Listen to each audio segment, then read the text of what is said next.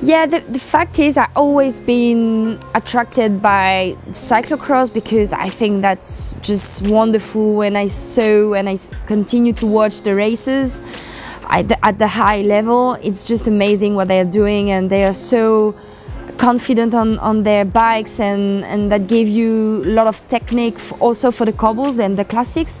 So for me was the, um, the yeah the good training during this winter to, to be more confident on my bike after my crashes from last year and also to train um, in a high um, heart rate uh, yeah.